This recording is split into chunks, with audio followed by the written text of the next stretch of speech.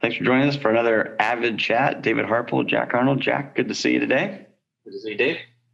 Uh, we wanted to throw out uh, another quick little webinar post election, as we did one in pretty good detail, I think, leading up to election. And now that it's over, so, you know, essentially, uh, I think it's always good to kind of recap. And I think part of it is what we were feeling going into it, and then what we should keep in mind as we continue on to the next, let's say, till the next election, because this is inevitable. It happens every four years. Right. So let's start, Jack, with the um, let's recall a little bit of the sentiment going into the 2020 election. And what were some of the things that we discussed in the last webinar, and maybe even, you know, friends, clients, family were, were saying about what might happen? The, well, the last chat, of course, we talked about who's going to be the president, what effect does that have on the stock market. We talked a lot about the fact that it probably does matter. To what degree is unknown. Is it good, bad? It's hard to say. It's one of many factors. It will ebb and flow in terms of its importance. So it was hard to tease out what the cause and effect would be. So if you thought Trump would win, what does that mean? If you thought Biden would win, what does that mean? Good, bad, or otherwise? A lot of it depended on kind of who your guy was, what you think was was going to happen. Um, you know, we would get I think one good thing is we do people are open with us obviously about their investments, things that they're thinking. So we get we do get a pretty decent cross section of people, you know, commenting on what they think is going to happen. And, you know, you would we would get a version of the exact same argument for each camp. it would be yeah. if this is my person, they would make the same argument. It would just be if this if my guy or the other guy wins. It would be basically the same thing. It was almost uncanny the way that it would work and it was a lot of if this person wins, well, I, this that's just it for this country, and it's so bad for this. I, maybe I should just kind of sell things, or should we change things around, or what should I do? You know, given this election, because you know whatever we thought was was going to happen. So you know, we get it from both sides. Uh, that was a lot of it.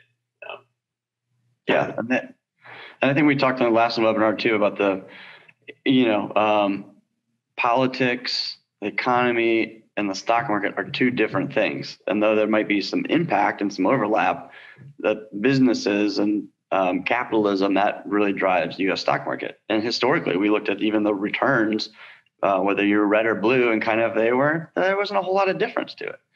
So now that it's over, I think um, it's been interesting to kind of just see what's happened in the market. And I think you have some stats for us.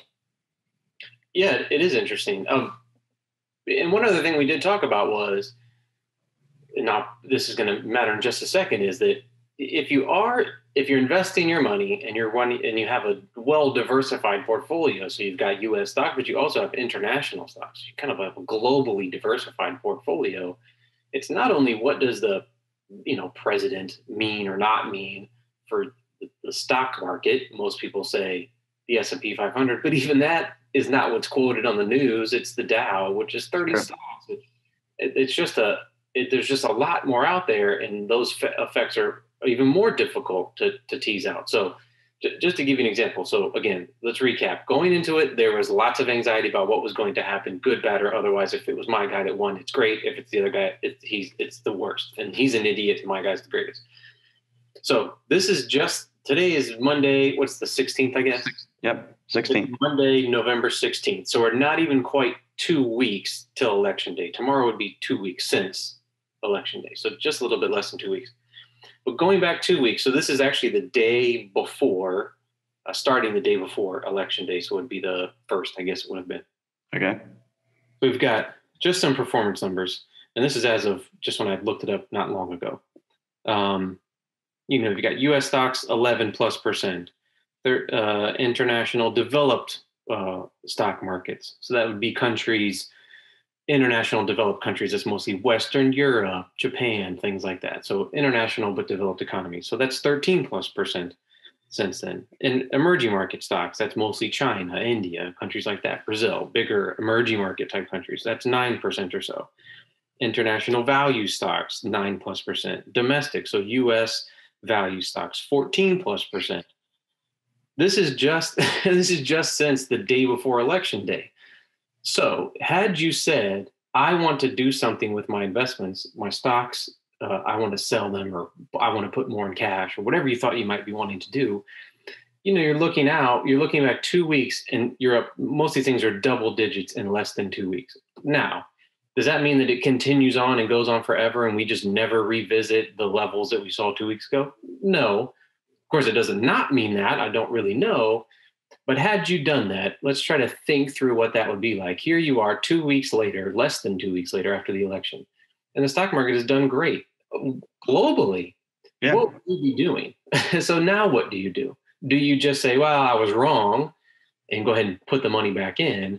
Or do you kind of double down and say, well, it will come around. This is a temporary blip, which is, and then you just start playing these mind games with yourself as it will just come back and there's no shortage of people who thought that something bad was going to happen, whether that's this election or in 2009 or any other crisis that we've had in the last 20 years. That thought, well, I'm going to sell it, but I'll get back in when it's lower. And then it's never lower. And what Correct. do you end up doing? You just play mind games with yourself. So here we are. So it's two weeks later. I never would have expected it to be that much, but it is. That's that's a lot. Those are a year's worth of returns. Uh, yeah, I was going to say that's higher than the average annual historical returns. Yeah, for a lot of those in less than two weeks. Which right. again does not mean that you know it never goes back to the you know previous levels, but it's just to illustrate that it's unexpected. It, yeah. and, you know, also we've got you know you've got a Democratic president now, but you've still got more likely than not a Republican Senate. Republicans picked up House uh, seats in the House, it seems, kind of against expectations. So anybody's expectation going into it is was probably off. And you've got a somewhat mixed government um, going into the next session. And, and one other point is, you know, we're in Florida for wherever you're watching this is, you know, less than two years from now, we have a midterm election coming up and we have a governor and a senator on the ballot. So, uh, do you want to run this whole scenario back in two years and just drive yourself crazy? Which things, if you're in Florida, anyways, things that probably are much more impactful to your to your life, at least in the short run, governor and, and senator. So, it's just a very difficult thing to say. This is what I think is going to happen in the election. Therefore, I'm going to do this with my investments. Yeah, I think that's that's it. It's okay to talk about it, to think about it give some ideas if maybe there was something drastically to do different. But as we always say, for your money that's invested for the long term, it's going to have very little impact. And even if you were to get the front end of the guessing, as I would call it, correct, let's just say three weeks ago, you said, you know what? If this happens, I think the market is going to take off, all of them global. I'm going to put more money in. And you put more money in and you're up 10%. Great now what? right. Are you selling it? Are you keeping it? Are you thinking, oh, what's it's up 10, it could go up 20, let me put in more.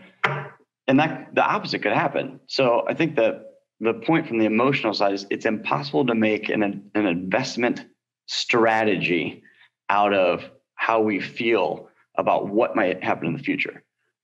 Yes. It's way easier to look back and say, wish I should have, well, yeah, right. there's not a there's not a person on the planet that I don't think would say, "Man, if I would have had money back in March, should have threw it into the market." Right, right.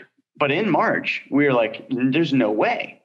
I mean, maybe we should all go to cash. In addition to global pandemic, elections are coming up, so ugh, the chances of this being a good investment year is slim. What do you guys think? and then I think we kind of said the same thing, but it's just difficult to base any type of strategy or philosophy from investing on those things. Right. Anything that has to do with reading the newspaper and then deciding what you're going to do with your investments almost certainly is going to be a loser strategy. It's just it's impossible because that stuff's after the fact. It's already happened. The stock market's somewhat forward looking, so uh, that stuff more likely than not is somewhat factored into the the price. It's already happened. It's old news at that point. Um, but also, but it's not just the presidency. Also, it's you, you mentioned March, which was was a good point. You know, here we are where we've got coronavirus cases spiking, the highest that they've been since it started, I believe. Yeah. But here's the stock market is, you know, all time highs. And, and so it's just, man, that's impossible. That's just such a difficult thing to do um, to guess what's going to happen, read current events, and make your decisions based on that. We beat to death. Have a process and stick with it. Nothing is perfect, but have something that you that you're comfortable with, that you're willing to stick with through thick and thin, because there will be times that will test your faith, and you need to be comfortable with what you're doing in order to stick with it. This game of trying to go in and out is just you're going to drive yourself crazy and probably not get uh, very good results. Yeah.